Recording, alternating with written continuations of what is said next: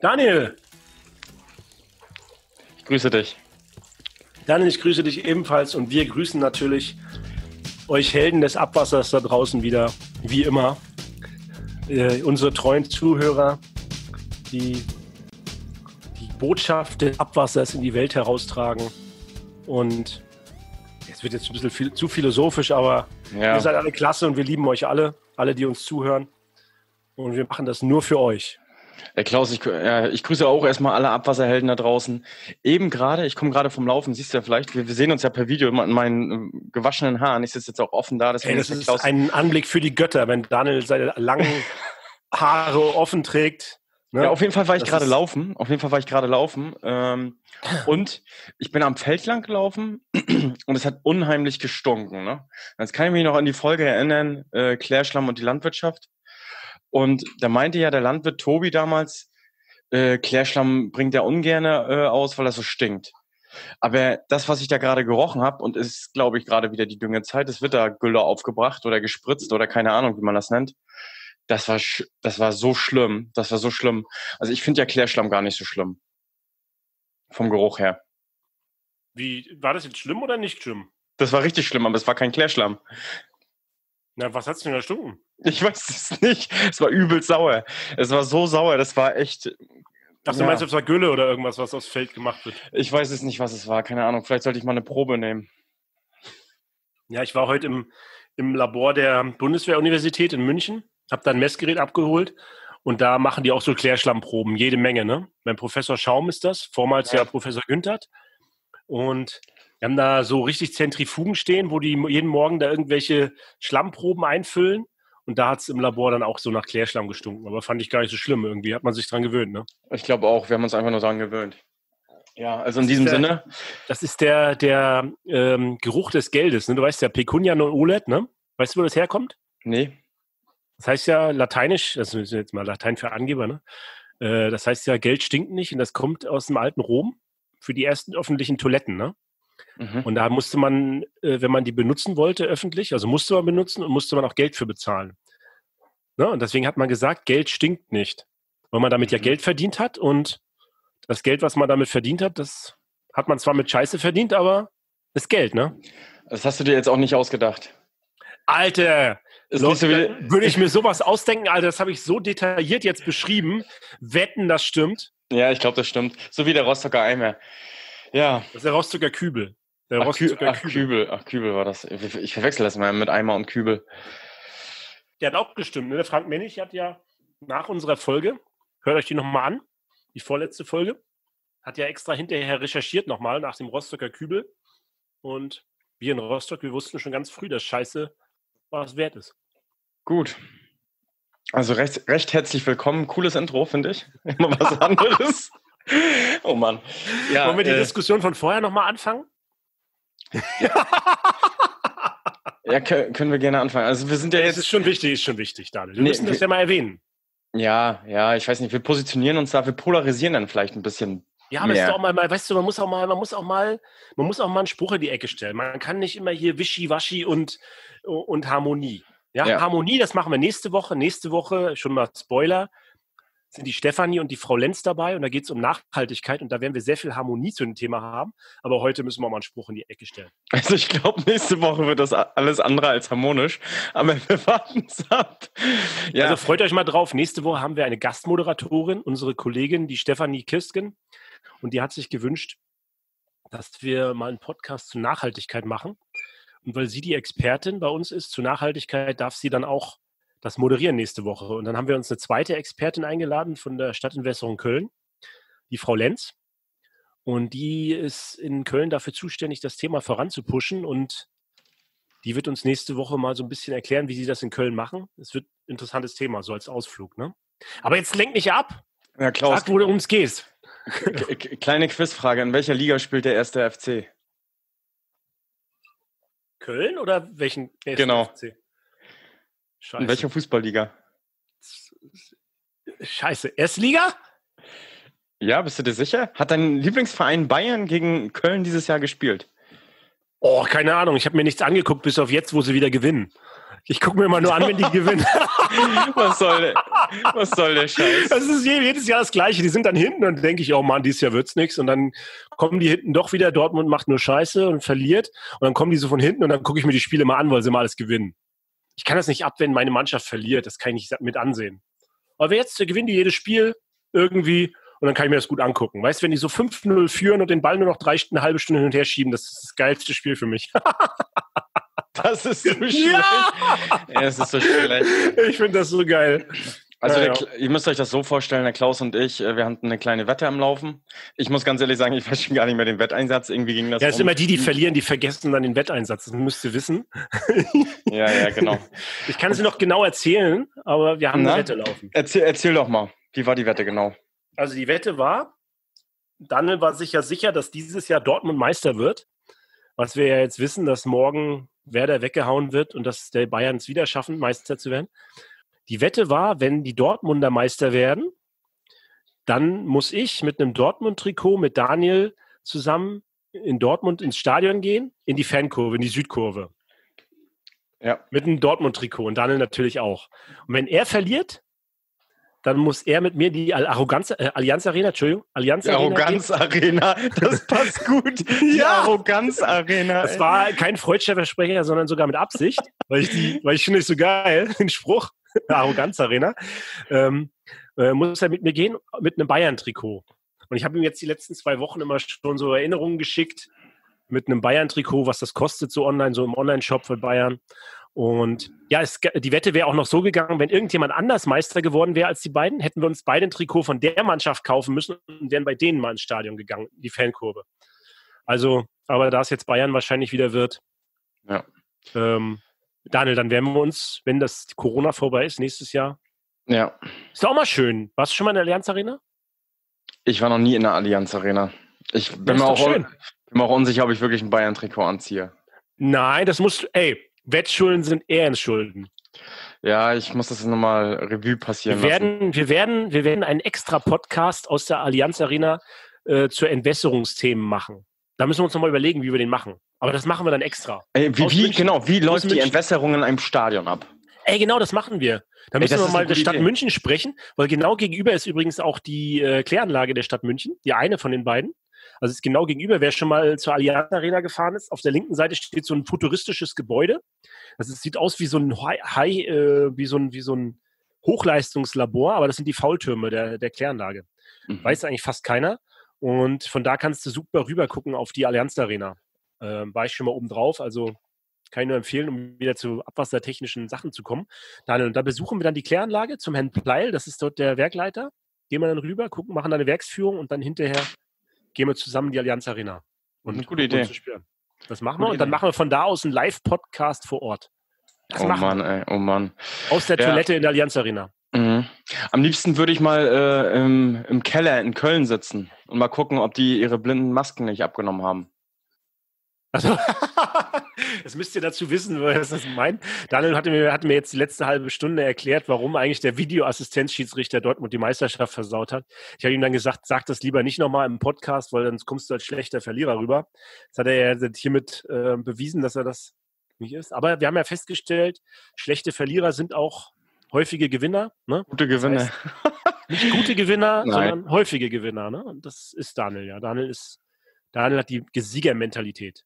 Ja, aber das war eine gute Überleitung, fand ich, mit der Allianz Arena und äh, äh, Abwasser. Und dann machen wir einfach mal so einen Live-Podcast. Ne, Live-Podcast nicht mal, aber nehmen wir da eine Folge auf. Das machen wir auf jeden Fall.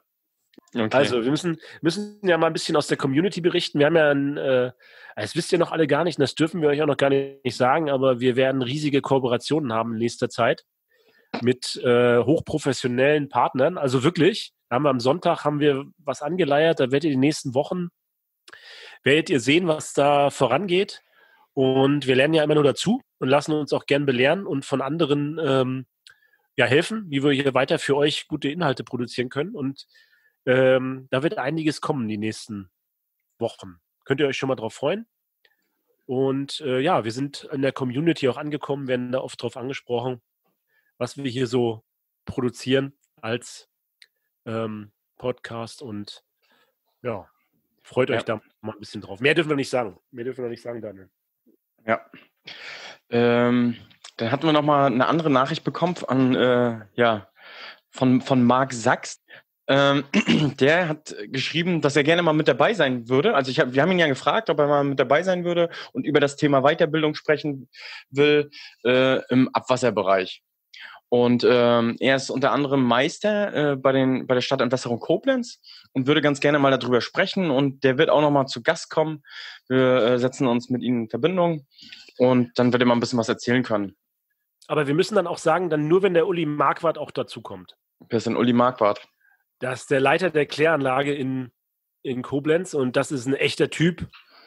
Und der muss auf jeden Fall irgendwie auch mit dazukommen. Ne? Also wenn du uns zuhörst, sag dem Uli einen schönen Gruß vom Klaus. Ne? Und der muss auch auf jeden Fall in den Podcast mit dazukommen. Das ist echt die geilste, der geilste Typ, wirklich. Und wirklich ein cooler Typ. Ist das eine Ikone?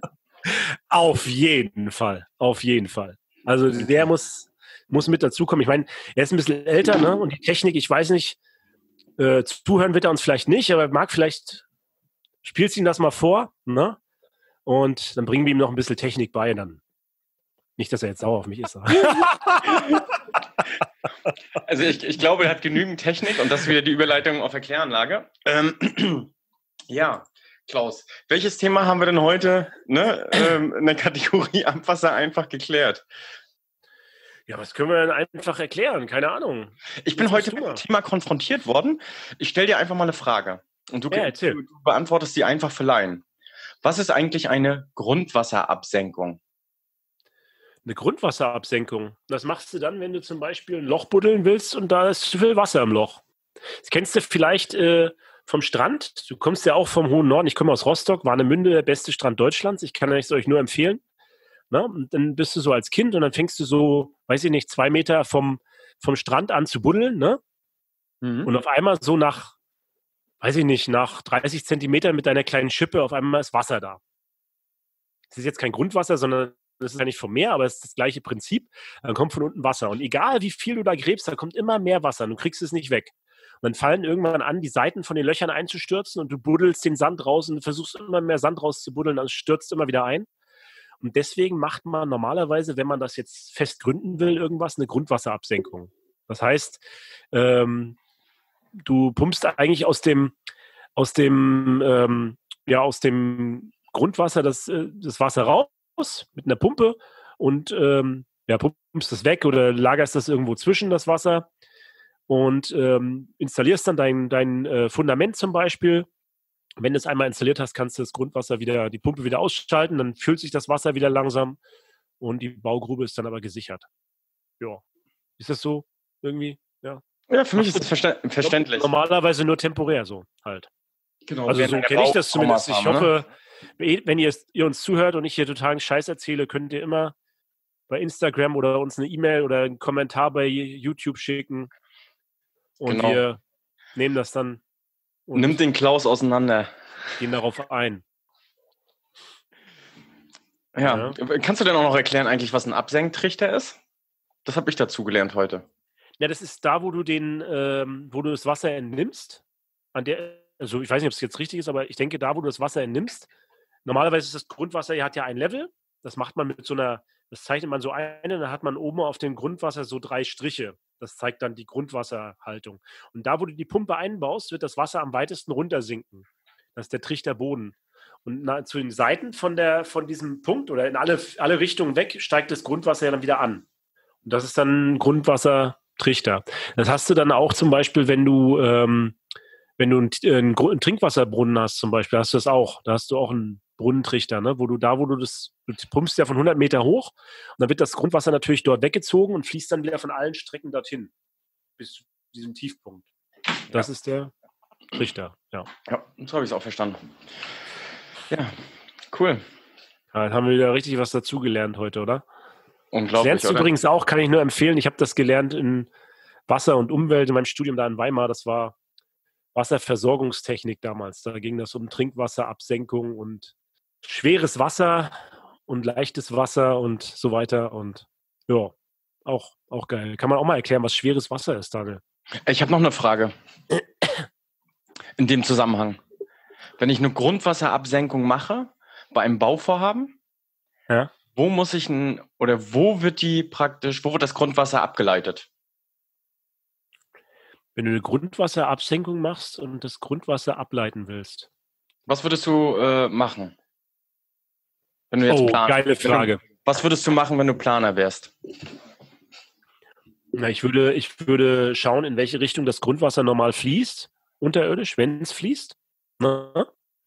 Und dann in die Richtung ableiten. Versickern. Auf einer Grünfläche zum Beispiel. Habe ich heute gesehen, ich war in Dachau, gegenüber vom, vom KZ Dachau war das.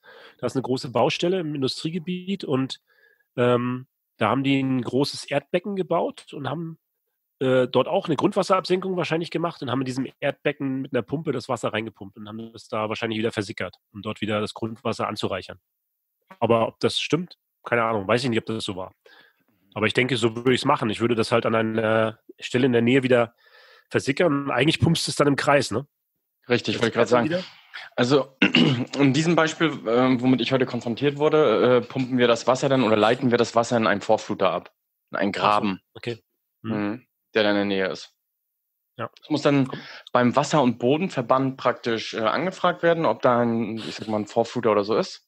Die haben dann gesagt, ja, der und der Vorfluter ist das, aber äh, das ist ein Gewässer zweiter Ordnung. Geh mal zum, zu der unteren Wasserbehörde und das schließt sich ja jetzt der Kreis mit der letzten Genau. Folge. Und äh, genau, und beantrag äh, die, die Einleitung. Weil wir haben ja gelernt, laut. Wasserhaushaltsgesetz gilt, alles mit Wasser ist verboten, es sei denn, du hast eine Erlaubnis. Wenn ich eine Erlaubnis brauche, dann gehe ich zu Jenny und frage sie, ob ich darf und dann sagt sie hoffentlich ja. Genau. Gut. Ja. Das soweit aber vom Wissen heute, oder? Ey, das war total, total gut, finde ich. So, Daniel, Dann- da haben wir echt, es war total gut, die Frage. ja, jetzt müssen wir auch zu was Fachlichem kommen, oder, Daniel? Nee, fachlich, ja fachlich hatten wir gerade. Jetzt kommen wir zu den Neuigkeiten. Ach so, ja, wie auch immer. Also ich habe ja das hier in der Hand. Ihr seht das jetzt nicht, aber das ist die neue KA, Juni 2020. Gibt es ja jeden Monat. Und wir gucken ja da immer so ein bisschen rein, um euch so ein bisschen unsere Interpretation der Inhalte der KA zu liefern. Ja, Daniel, was hast du denn so gefunden? Erzähl mal. Ja, was habe ich so gefunden? Ähm, bei den ersten Seiten steht nicht wirklich was Weltbewegendes. Es gibt ein paar neue Regeln zur DGUV-Prüfung und ähnlichem. Das ist vielleicht noch für den einen oder anderen Betreiber wichtig. Mecklenburg-Vorpommern, AG Dürre erneut zusammengerufen. Ja, ähm, das muss ich mir nochmal durchlesen. Aber was ich hier unter anderem gefunden habe, ist das Interview äh, von den Stadtwerken Jena. Da bin ich auch hängen geblieben. Da bist du auch hängen geblieben? Ja, da Ja, bin ich auch Jena, muss man mal sagen, Jena ist eine der geilsten Abwasserfirmen in Deutschland. Ja, auch einer meiner Lieblingskunden, wo ich am liebsten- liebsten bin. Und ähm, ja, der Herr Waschina hat hier, war hier im Interview dabei, deswegen, also den kenne ich auch persönlich und deswegen, man guckt ja auch immer so ein bisschen, wen kennt man, ne? Und, Ja, ich, ich habe, soll ich dir mal sagen, warum ich da hängen geblieben bin? na, erzähl mal. Ich wollte mir die Fragen abschauen, die hier gestellt worden sind für unseren Podcast, wenn wir nächstes Mal die Gäste wieder bei uns haben im Talk, ähm, welche klugen Fragen man stellen kann. Deswegen das bin ist ich eine Kunst, ne? Das ist eine Kunst, gute Fragen zu stellen. Ja. Kunst, ja, stimmt schon. Ja, ich bin, wie gesagt, wegen dem Herrn Waschina hier hängen geblieben. Den kenne ich auch persönlich. Und die haben ja so ein bisschen das Kanalnetz beschrieben. Ein Satz ist natürlich besonders sensationell, weil ich da auch so ein bisschen mitgearbeitet habe. Und der steht hier drin. Ich lese das mal vor. Zukünftig rückt die Sanierungsplanung in den Mittelpunkt bei Netz, ne? Beim Netz in den Mittelpunkt. Jener Wasser besitzt eine komplexe Generalentwässerungsplanung mit Schmutzfrachtberechnung, Zustandsbewertung, hydraulischer Betrachtung, einer Betrachtung zu Schwefelwasserstoffkorrosion und zur Starkregenvorsorge. Und äh, das ist ja diese Software Sulfidos, die wir damals mit den Kollegen aus Jena zusammen entwickelt haben, Daniel. Mhm. Und äh, da war der Herr Waschina auch mit dabei und noch ein paar andere Kollegen von den Stadtwerken. Und das ist schon schön, weil die, die beachten das, was unser Chef eigentlich vor zehn Jahren mal angefangen hat, dass man in der Planung schon irgendwie, in der Generalwässerungsplanung schon die ganzen Gerüche mit ausrechnet. Und das steht hier eigentlich in diesem Nebensatz so mit drin. Und das finde ich eigentlich ganz toll, dass das hier das auch mal in die Zeitung geschafft hat. also finde nicht ich- nur hy- hydraulische. Betrachtung, sondern auch biochemische Betrachtung. Ja, ja, genau. Da müssen wir eigentlich auch nochmal eine Folge irgendwann zu machen, dass wir auch mal unsere fachlichen Ergüsse mal rausbringen, Daniel. Genau. Haben wir, schon, wir haben noch keine Folge zu Geruch gemacht, ne? Nee. Das machen wir vielleicht auch mal die, die Tage mal. Ja, was, was mich hier noch so ein bisschen gewundert hat bei dem Interview, ähm, Güte, Gütegemeinschaft, Kanalbau und äh, irgendwelche Güteabzeichen. Oder Gütezeichen RAL GZ 961. Also ich persönlich habe das noch nicht so richtig wahrgenommen, dass viele Betreiber nach äh, diesem Gütezeichen die Kanäle sanieren. Ich weiß nicht, wie das bei dir ist. Hast du da viele? Also ähm, die großen Betreiber achten da schon drauf. Das steht dann in den Ausschreibungsunterlagen mit drin, dass man zertifiziert sein muss nach diesem äh, Gü Güteschutzkanalbau oder Gütezeichen Kanalbau. Mhm. Und das ähm, wird auch ständig überwacht und das führt natürlich dazu, dass du gewisse Qualität von der Arbeit erwarten kannst. Ne? Von daher macht es schon aus meiner Sicht Sinn. Okay. Ne? Ja, von daher, dann das ist, war ein tolles Interview. Was haben wir noch gehabt? Erzähl dann ist mal. hier wieder ganz, ganz viel Corona drin. Da gehen wir einfach nicht drauf ein, oder? Ja, wir haben schon genug über Corona. Ja, wollte ich auch gerade sagen. Ich muss dazu mal kurz einen Exkurs, wenn wir das haben. Ich war am Wochenende am Samstag mit der ganzen Familie, also meine kleinen Kinder, ne, drei und acht Monate, also drei Jahre und acht Monate, waren wir in, im Europapark in diesem neuen Schwimmbad. Ne? Kann ich nur für allen empfehlen. Und das Gute war ja, dass sie nicht 3500 Leute da reinlassen, sondern jetzt in Corona-Zeiten, also es ist offen, aber 1500 Leute dürfen da rein. Ich habe mir gedacht, wie ist das, wie voll ist das mit 3500 Leuten? Ne, und diese ganzen Abstandsregeln kannst du eigentlich gar nicht einhalten. Und dass das wieder aufmacht, ist krass. Ne? Aber für mich war das so das Zeichen, Corona ist jetzt dann hoffentlich mal vorbei. Weil ich, geht eigentlich gar nicht, aber naja. Ich habe noch eine andere krass. Wenn du im Europapark warst, ähm, kann ich meine Geschichte auch erzählen. Ich hatte ja letzte Woche Urlaub und ich war campen. Und dann haben wir in der Lüneburger Heide gecampt mit äh, ein paar Freunden und sind dann an einem Tag in den Heidepark gefahren. Das ist ja, glaube okay. ich, der zweitgrößte äh, Freizeitpark in, in Deutschland. Mit drei Jahren, mit drei Jahren war ich da mal. Ich war noch nie im Europapark, da will ich unbedingt mal hin. Ich bin ja so ein Freizeitparkgänger. Und äh, da war das extrem professionell. Also erstmal war der Park nicht voll, also war ziemlich leer. Ich bin so auf Karussell gefahren wie noch nie. Und die sind sehr, sehr professionell vorgegangen. Also die haben immer nur jede zweite Reihe zum Beispiel vom, vom Waggon besetzt. Und äh, die haben nach jeder Fahrt immer alles desinfiziert und sowas. Krass. Ja, Krass. es ging auch damit, also mit äh, Mund-Nasenschutz musstest du anstehen und auch die Fahrtgeschäfte machen. Krass. So, Im Tag durftest du so rumlaufen. Aber ohne Witz, ne? Mir hat das sogar noch mehr Spaß gemacht unter den widrigen Bedingungen, angeblich widrigen Bedingungen, ähm, als ja, ohne Corona. Ja, okay. Ja, wir, ich habe das ja so gemacht, ich habe mir ja die, den Europapark als Kunde besorgt. Und dann kann ich dann immer, äh, rufe ich dann immer den Kollegen dort an, den Herrn Herdrich oder den Herrn Kern und sage, ich muss mal wieder bei euch vorbeikommen. Und dann hatten wir, dann haben wir manchmal so, dass wir dann schon früher in den Park rein können oder dann, äh, dass der uns dann so hingeführt hat, dass wir auf die erste Reihe und an den ganzen, an den ganzen Schlangen vorbei. Das war total cool. Leute schon erkennt. Hast du so ein bisschen Einblick von hinten, ne? Die haben, ja jede Menge, die haben ja jede Menge Fettabscheider. Das war ja mein Masterarbeitsthema, ne? Mhm. Schweife ein bisschen ab, aber egal. Und dann haben wir halt die ganzen Fettabscheider uns da angeguckt und das ist schon ein Riesenthema auch bei diesen Parks, ne? Wir haben ja viel Futterzeugs und so, ne? Mhm. Äh, ich finde, jetzt ist die Verknüpfung wieder zu diesem Bayern-Fan. Erster in der Reihe und Bayern-Fan. Ich wollte mich nur nicht anstrengen hinten. ja, genau.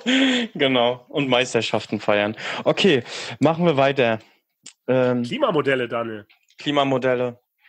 Ja, ich persönlich kann nicht so viel, also Klimamodelle, Christian Förster, Hannover.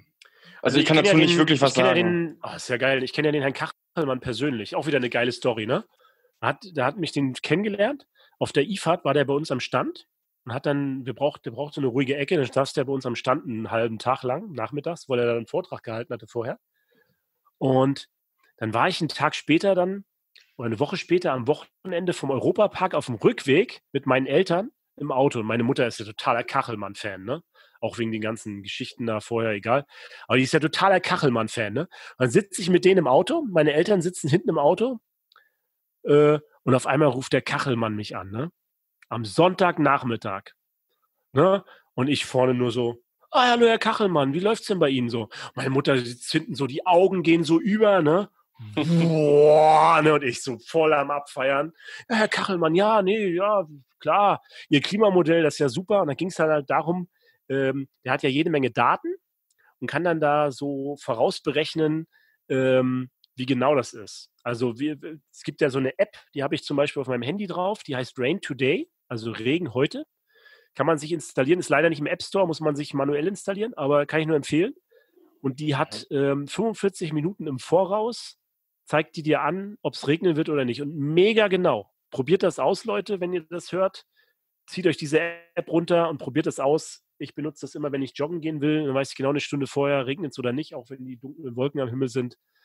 Kann ich nur empfehlen. Und da hat er dann erklärt, also diese Klimamodelle sind für eine Stunde im Voraus mega genau. Aber in dem Moment, wo das so einen halben Tag im Voraus ist, kannst du nicht mehr sagen, wo entsteht der Starkregen. Das ist so stündlich, ne? Aber dadurch, dass wir diese genauen, also wir wissen eine Stunde vorher, wissen wir es mega genau. Alles, was länger dauert, wissen wir es so auf zehn Kilometer genau.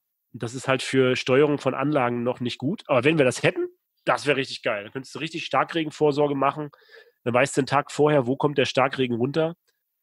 Das geht leider noch nicht. Und von daher muss ich dann den Herrn Kachelmann leider sagen, können wir noch nicht kaufen, was Sie da haben. Aber danke, dass Sie angerufen haben. ich war so am Feiern und hab dann, ja, ja, nee, ja, wir kennen uns, ja, ja. Das oh war Mann, so geil. Das war der geilste, die geilste Aktion. Ja. Oh Gott. Ja, gut. Also ich halte das ein bisschen, ja, auch jetzt nochmal, um die Geschichte zum Heidepark zu machen. Wir sind da morgens aufgestanden, da war da komplett, ich gucke immer auf niederschlagsradar.de und da war alles komplett voll. Und eine Stunde später, oder weiß ich nicht, ja, nach dem Frühstück, war dann auf einmal, waren die Wolken weg. Es war zwar übelst bedeckt, also die, die Regenwolken. Und äh, dann hat es nur noch leicht genieselt, anstatt diese ganzen Starkregenereignisse. Deswegen, ich persönlich finde diese Klimamodelle, Regenmodelle, alle so ein bisschen nicht fragwürdig, aber schwierig. Das ist genau das, was der Herr Kachelmann auch gesagt hat. Du weißt vielleicht eine Stunde vorher, weißt du es mega genau, aber umso weiter du in die Zukunft guckst, umso ungenauer wird das Ganze. Das heißt, du kannst es halt noch nicht zur wirklichen Berechnung an einem Ort, wie wirklich das lokale Wetter genau an dem Ort ist. Das funktioniert nicht, aber auf 100 Kilometer, äh, so also 100 mal 100 Kilometer, kannst du es mega genau auch eine Woche vorher schon sagen, wie das Wetter ungefähr sein wird. Aber äh, wenn du umso, umso enger, maschiger du dieses Netz machst, ne, auf ein bis zwei Kilometer, also das engste, was die bisher haben, ist auf ein auf einen Kilometer und dafür eine Vorhersage für drei Tage. So habe ich das, glaube ich, verstanden. Und das ist schon sehr gut. Also früher hat man ja immer gesagt, die Wetterfrösche haben immer Unrecht, aber mittlerweile stimmt das Wetter ja fast immer im Wetterbericht im Fernsehen, wenn man sich mal wirklich ehrlich drin überlegt. Also das ist schon sehr viel besser geworden.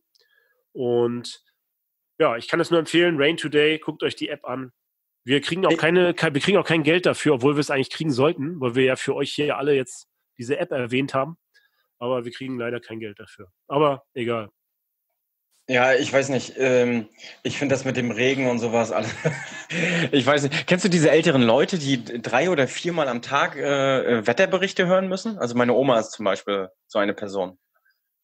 Jetzt ja, meinst du, denkst Jetzt muss ich dir wieder die nächste Story erzählen. Du musst dann diese Folge musst du erzählen, musst du nennen, Ey, musst du nennen, musst du nennen, Klaus seine, Klaus seine Geschichten. Okay. Klaus seine Geschichten. Okay. auf nächste Story. Ne? Meine Frau ist in der, arbeitet in einer großen Anwaltskanzlei in Stuttgart irgendwie, wir haben 70 bis 100 Anwälte, irgendwas Riesending. Ähm, und die machen einmal im Jahr so ein richtig geiles Mitarbeiterfest. Da sind auch die Ehemänner oder, oder Partner mit eingeladen, mit Kindern und alles. Und das war so vor drei Jahren draußen, sitzen dann draußen. Ich habe mir gerade so eine Digitaluhr gekauft, ne, für die Hand.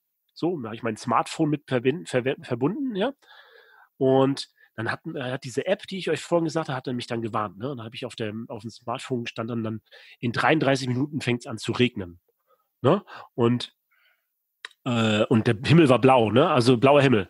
Und dann habe ich so in die Runde gesagt, da saßen irgendwie, weiß ich nicht, zehn Anwälte an dieser Bank so. Habe ich so in die Runde nach zwei Bierchen so gesagt, so, ey, es fängt gleich an zu regnen hier, wir müssen die Schirme aufspannen und so. Ne? Und dann haben, haben zehn Anwälte sich eine halbe Stunde über mich lustig gemacht ja, du mit deinen Regen, hier der Regenmacher und was weiß ich, und so eine Sprüche, ne? und dann fing das nach 33 Minuten wirklich an zu regnen. Also wirklich, es war so geil. Dann kamen die Wolken, es war so in der Schlucht, Stuttgart, ne? Kennt man ja. Dann kamen die Wolken, hat es angefangen zu regnen, ne? Und ich nur so auf meine Uhr geguckt, ja, und Leute, in 22 Minuten hört es wieder auf, ne? Und das hat dann auch noch gestimmt. Da war ich so der Held. Da waren die total leise. denn, denn warst du für die der Kachelmann, oder was? Ja, das war so geil. Das war so geil. Die haben sich echt eine halbe Stunde nur über mich lustig gemacht. Also, ja, weiß nicht, nach ein paar Bier ist man ja vielleicht auch manchmal so ein bisschen, ne? Und ja, ja. Das soll nicht heißen, dass ich ständig Bier trinke, aber da war es mal nötig. Ja, glaube ich. Ja. Gut. okay, machen wir weiter. Also das ist ja Storys heute. Soweit äh, zu Klimamodellen. Ja, also Klimamodell, ich sage euch, kurzfristig ist das sehr genau und in Zukunft wird das noch viel genauer werden. Und wenn wir die Weltformel berechnet haben, dann wird auch das Klima kein Geheimnis mehr für uns sein. Ja, philosophische Diskussion über die Weltformel. Das war jetzt gerade eine lange Stille. Ähm, aber kommen wir wieder weiter. Ich habe hier das nächste und zwar ähm, jemanden, den ich kenne, den Thomas, äh, Dr. Thomas Upschis hat hier vom ähm, Abwasserverband in Saarbrücken, EVS heißen die. Und äh, der hat seine Doktorarbeit hier ähm, nicht veröffentlicht, sondern Artikel drüber gemacht. Also ich gehe davon aus, dass es seine Doktorarbeit ist, über Trennelementfläche, äh, gerade oder geneigte Trennelementfläche bei Feinrechen. Also mega ins Detail. Also mich beeindruckt das immer wieder, wie man über die kleinste Geschichte, wo man denkt, das, was hat denn das, ist das so wichtig? Und dass man darüber was schreiben kann. Also seine Doktorarbeit, es wird das hier wahrscheinlich sein, ne? Feinrechen auf kommunalen Kläranlagen. Und da hat er verschiedenste Kläranlagen besucht, untersucht, wie das Zuflussverhalten auf die Feinrechen ist und äh, hat dann äh, Empfehlungen dazu gegeben, äh, wie geneigt sollen die Trennelementflächen sein und was soll man bei Auslegung von Feinrechen beachten. Also mich beeindruckt das, wenn ich sowas hier lese, wie man sich ins Detail mit sowas beschäftigen kann und da wieder Neuigkeiten für uns entwickeln kann. Und ich finde das gut, beeindruckt mich. Der Thomas ist ein toller Typ. Äh, lest euch das mal durch. Ich glaube, dieses äh, Thema übrigens, ja. ne, das, dieses Thema mit, den, mit dem Feinrechnen und der Neigung, ne, ähm, ich muss dir ganz ehrlich sagen, ich, wir werden ja auch häufig gefragt, habt ihr überhaupt genügend Themen und so weiter. Und man merkt richtig, es kann wirklich bis ins kleinste Detail gehen. Vielleicht nehmen wir dann auch immer im Zuge des, äh, des Zeitalters dieses Podcasts immer detailliertere äh, Themen auf. Vielleicht kommen wir dann ich auch mal. Ich sehe das hier gerade. Der, der Thomas hat, man sieht das hier, Dr. Uxis Consult. Das heißt, er hat nebenher eine Firma, wo er euch Rechen auslegt. Das heißt, in Krass. der Zukunft, den müssen wir einladen, den Thomas. Dann kann er uns mal ein bisschen was zu erzählen zu Feinrechen. Die, the Art, the Art of Feinrechen. Wie hat man Fine Screen? Nennt man das auf Englisch? Keine Ahnung. Aber so wird es wahrscheinlich sein.